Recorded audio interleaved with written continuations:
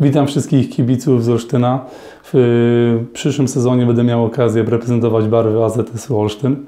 Bardzo się cieszę z tego powodu i mam nadzieję, że wspólnie osiągniemy bardzo dużo. Trzymajcie się, cześć. Nazywam się Jakub Urbanowicz. W nowym sezonie będę bronił barw Indykpolu. To będzie dla mnie prawdziwa przyjemność grać dla takiej wspaniałej publiczności. Pozdrawiam i do zobaczenia. Cześć, chciałbym przywitać wszystkich kibiców Olsztyna. Jestem nowym zawodnikiem. Nazywam się Mateusz Poręba i bardzo się cieszę, że będę mógł reprezentować barwy Olsztyna przy tak wspaniałej publiczności. Do zobaczenia niebawem.